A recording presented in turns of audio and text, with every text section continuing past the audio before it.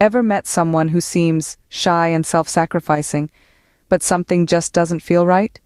You may be dealing with a covert narcissist. Unlike their overt counterparts, they portray themselves as underdogs, victims of circumstance. They paint a picture of being constantly overshadowed and mistreated. Why? To seek sympathy, to gain support. And while you're busy empathizing with their plight, they subtly shift the blame to others. It's a clever ruse. Remember, their victimhood is often more strategic than sincere. Consider those who always seem to be self-sacrificing. It's a familiar facade of the covert narcissist. They adorn the martyrdom mask, taking on burdens and responsibilities that may seem beyond their capacity. It's a clever ploy, designed to elicit admiration and praise for their perceived sacrifices. But here's the catch. Their selflessness is a guise, a manipulation tactic to make others feel indebted. They're counting on your gratitude, your guilt, your obligation.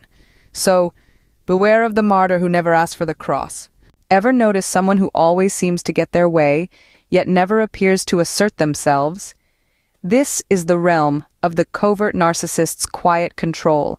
They may seem unassuming, even agreeable, yet they have a knack for nudging situations and conversations in their preferred direction. They subtly manipulate the flow of events, decisions, and outcomes, all while maintaining an image of passivity. It's a delicate dance of influence, often unnoticed until you're left wondering how things ended up their way. Silent waters run deep, and sometimes they run deceptive. Emotionally sensitive or emotionally manipulative? A question to ponder as we delve into the realm of emotional blackmail. Covert narcissists are adroit at weaponizing their sensitivity, turning it into a tool for guilt, tripping others into compliance. They play on your empathy and fear of disapproval, using their own perceived vulnerability as a bargaining chip.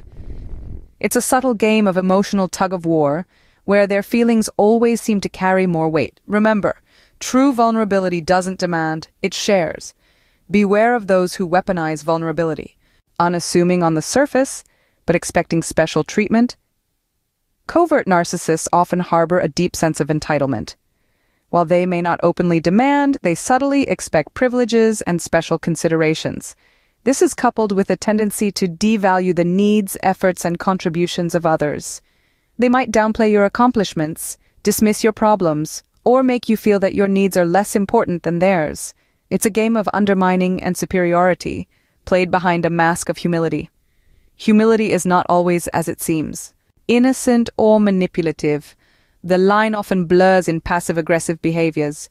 Covert narcissists are masters at this craft, expressing anger and resentment in indirect ways. They do this through subtle digs, snide remarks, or intentional neglect.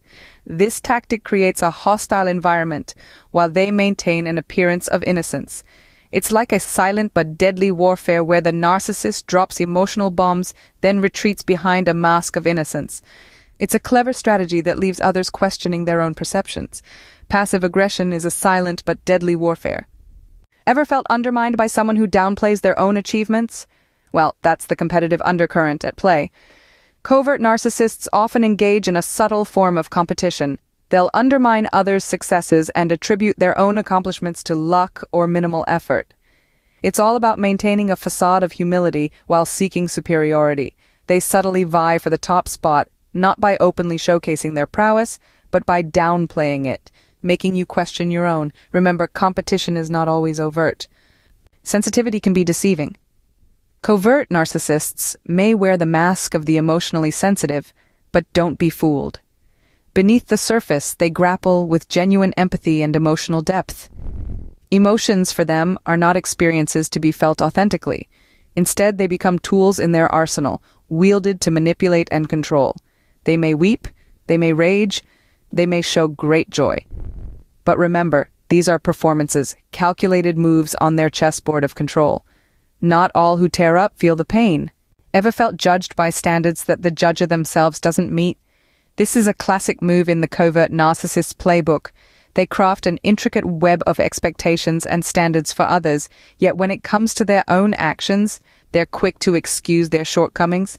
They might justify their behavior with their self-proclaimed fragile nature or any number of reasons that shift the blame away from them.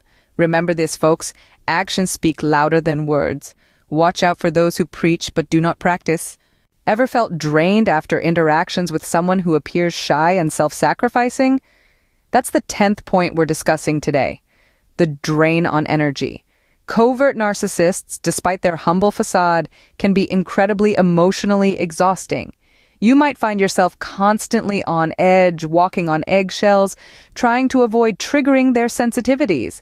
They may demand your time, attention, and emotional resources, leaving you feeling depleted and overwhelmed. This emotional drain is a form of manipulation, a way for them to control and bind you to them. It might leave you questioning your own perceptions, feeling guilty for wanting to establish boundaries or seeking space.